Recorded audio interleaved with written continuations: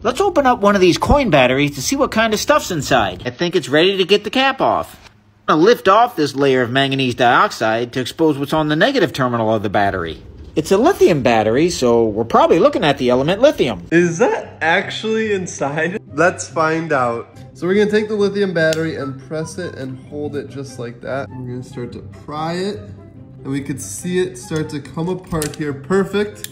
So here is the casings that came off and this should be the lithium. Take the other end of the battery. Oh, look at that. Oh my gosh. We're fully getting a reaction here in the water with the battery. That's super cool and that's what's inside a lithium ion battery.